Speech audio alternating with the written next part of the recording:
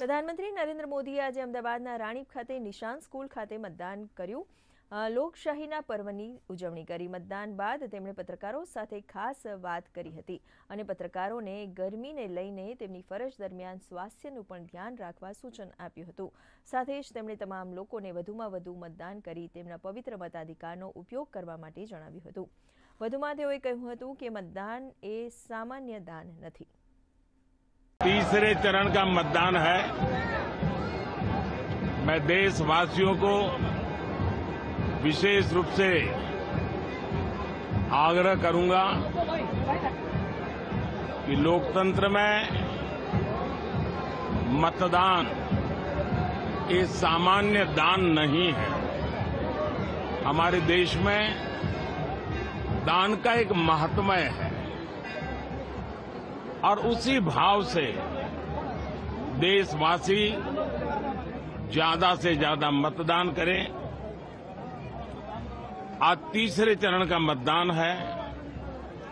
अभी और करीब करीब तीन सप्ताह चुनाव अभियान चलेगा।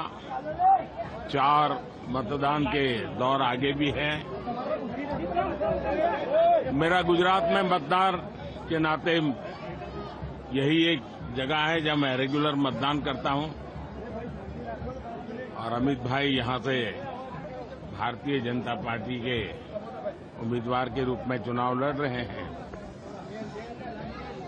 मैं कल रात को ही आंध्र से आया हूँ। अभी गुजरात में हूँ। मध्य प्रदेश जाना है, महाराष्ट्र जाना है, फिर तेलंगाना जाना है।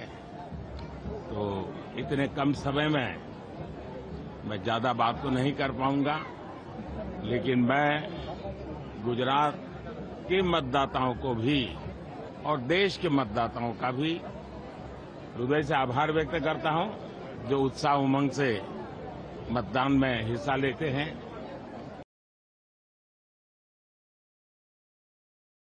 તો પ્રધાનમંત્રી નરેન્દ્ર મોદીએ રાણીપ ખાતેથી આજે મતદાન કર્યું. આજ વિશે વધુ માહિતી મેળવીએ અમારા સંવાદદાતા દેવશી વરોદરિયા પાસેથી. જી દેવશી, જણાવો કે આજે જ્યારે નિશાન સ્કૂલ ખાતેથી પ્રધાનમંત્રીએ મતાધિકારનો ઉપયોગ કર્યો, ત્યાં સમગ્ર માહોલ કેવો છે?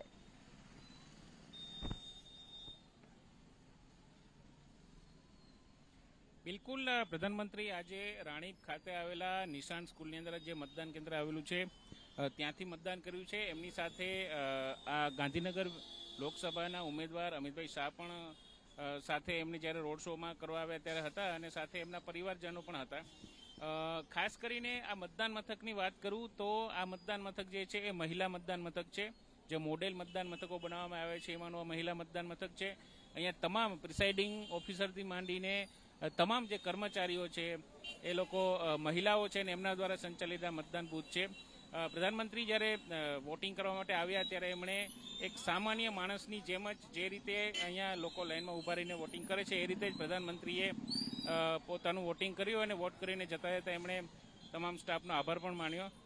ખાસ કરીને અહીંયાની જો અત્યારના મતદાનની વાત કરીએ તો ખૂબ જ બોડી સંખ્યામાં લોકો મતદાન કેન્દ્ર પર ઉમટ્યા છે. કારણ કે આપણે સૌ જાણીએ છીએ કે ગરમીનો માહોલ છે અને ગરમીના માહોલની વચ્ચે લોકો એવું ઈચ્છી રહ્યા હશે કે સવારમાં જ વહેલા જ મતદાન કરી દઈએ અને પછી બપોરના તાપમાં અથવા તો બપોર પછી નીકળવું ના પડે અથવા તો પોતાના કામ ધંધે જવું હોય તો જઈ શકે. આમ તો આજે રજા આપવામાં આવી છે. છતાં પણ તો અહીંયા બહુ જ ભીડ છે અત્યારે. લોકો મતદાનની લાઇનમાં ઊભા છે અને મતદારોની અંદર પણ ખૂબ ઉત્સાહ જોવા મળી રહ્યો છે. તો અહીંયા જે છે અત્યારે મતદાન દેશ માટે મતદાન કરવાનો જે માહોલ છે એ જણાઈ રહ્યો છે. જી. જી દેવસિંહ બિલકુલ સવારથી જ આપણે જોઈ રહ્યા છે કે લોકો ઉમટી રહ્યા છે મતાધિકારનો ઉપયોગ કરવા માટે. ખૂબ ખૂબ આભાર અમારી સાથે જોડાવા બદલ.